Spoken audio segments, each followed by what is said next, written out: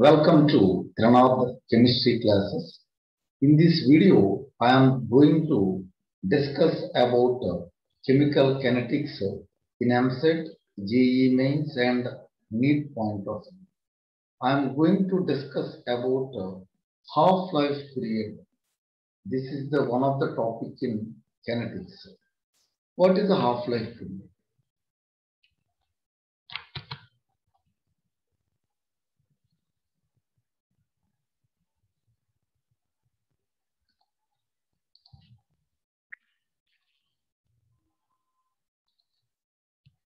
What is the half-life period or half-life time?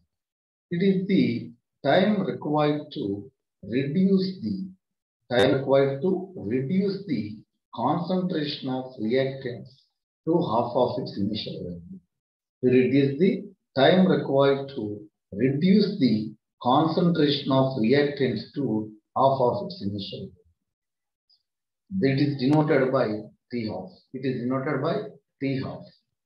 Later, R not be the initial concentration of reactants. Then, at half-life, what will be the concentration of reactants? It is, this is the half of the initial concentration. That is R naught by 2. R naught by 2. Let me take, uh, for example, if half-life is 30 minutes, if half-life is 30 minutes, the number of half-life in 180 minutes is how many half-lives are there? 6 because 180 by 30. Similarly, for example, if half-life is 80 minutes, number of half-lives in 640 minutes is 640 by 80. Then this is 8 half-lives are there in 640 minutes if half-life is 80 minutes. Now, uh, the important formula for objective point of view based on half-life is the amount of reactant left, the amount of reactant left after n half-life is, the amount of reactant left after n half-life is, A is equal to A naught by 2 power n. A is equal to A naught by 2 power n, where n is the number of half-lives and A is the, where A is the, where A is the uh, concentration, a concentration of or amount of reactant after time t, after n half-lives. A naught is the initial concentration of the reactant and n is the number of half-lives. n is the number of half-lives. So the amount of reactant left after n half-lives is, how what is the amount of reactant will be left after n half-lives? A is equal to A naught by 2 power n where A is the, the concentration or amount of reactants present after n half-lives. A naught is the initial concentration or initial amount of reactants present. Now, let me discuss a few problems on this aspect. Now, problem is, suppose half-life of a reaction is, half-life of a reaction is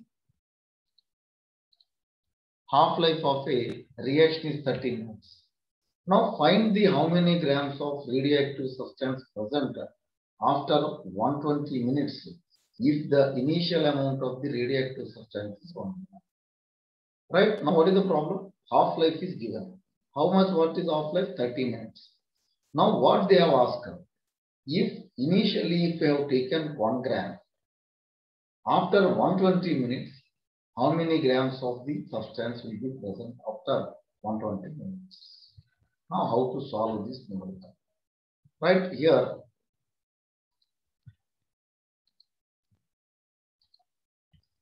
the solution. We know that the amount of reactant left after n half-lives is A is equal to A naught by 2 power. Now, first we need to calculate how many half-lives are there in it because it is 120 minutes number of half-lives is how much? 4 because 120 by 30 because 30 minutes is the half-life time. That's why 120 by 30 this is equal to 4 now the amount of radioactive substance left after 120 minutes is what is the initial amount? Because it is given 1 gram. That's why 1 by 1 gram by 2 power 4 because 2 power n. N is 4. That's why 1 by 16. Then how much will be left? 0.0625. So the amount of radioactive substance left after 120 minutes is 0.0625 grams. Now let me discuss another point. Suppose in 120 minutes of time, now problem is given as in 120 minutes of time.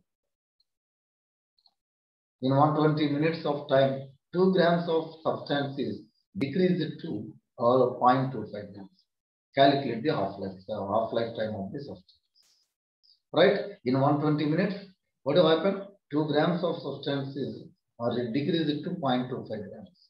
Then calculate the half-life time of the substance. Now, A is how much? 2 grams. A is 2.0.25 grams and uh, A naught is 2 grams. That's why 0.25 grams is equal to 2 grams by 2 power.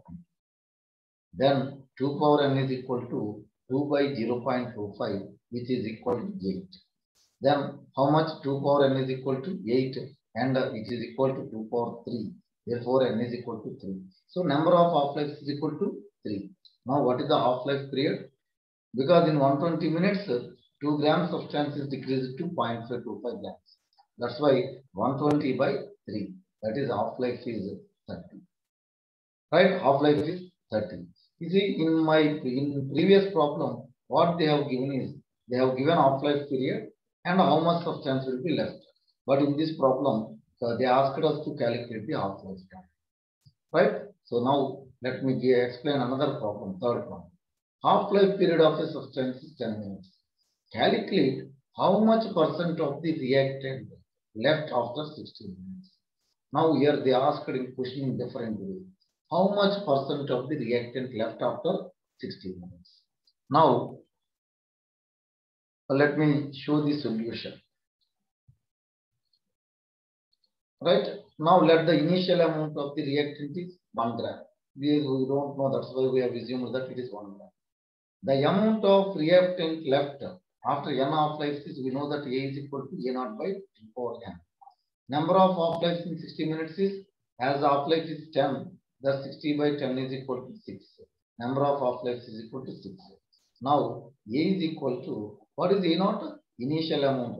This is equal to 1 gram by 2 power 6. Now, 2 power 6 is 64. 1 by 64 corresponds to 0 0.015625 grams. 15625 grams. Now, this much amount only left. How much percentage of the reactant will be left is equal to, how will calculate? What, amount, whatever the amount left by the initial amount into 100. Now, this is the left 0 0.0156 grams into 100 by 100. It is equal to 1.56 percent. Roughly, it is 1.6 percent.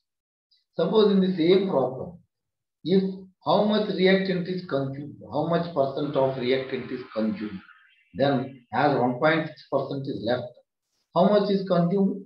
98.4 percent is consumed. 98.4 percent is consumed. Right? So uh, this is the third way of uh, problem asking on half-life.